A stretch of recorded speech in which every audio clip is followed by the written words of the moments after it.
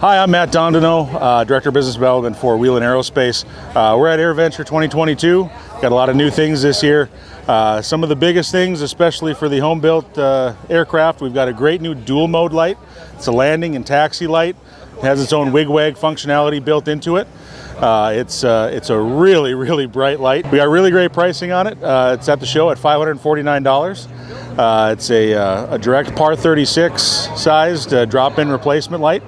Uh, we also have some new things, uh, recognition lights for Mooneys uh, out on the wingtips, uh, which is a brand new product we've been being asked for for years, uh, and we're happy to have those here.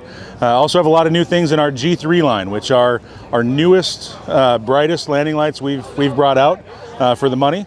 We had a par 46 that we released at Sun and Fun last year, and a par 36 uh, that we did at Oshkosh a year ago.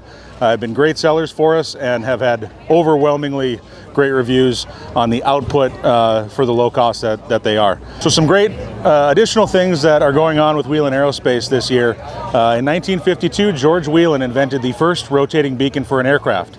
That makes this our 70th anniversary, our 70th birthday. Uh, so uh, it's it's a very unique spot for us uh, to be in the market this long. Uh, Whelen is still a family-owned company, uh, part of uh, the parent company of Whelen Aerospace. Uh, still, all of our products made in the United States, New Hampshire, and Connecticut, and our Whelen Aerospace headquarters in Florida.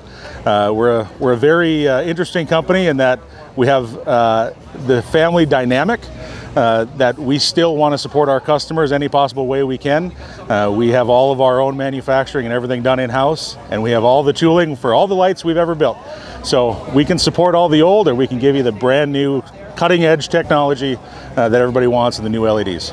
So uh, stop by and come see us. We, of course, have all of our full lines of, of uh, aviation lights out here at our hospitality center or in Hangar A uh, at our main booth.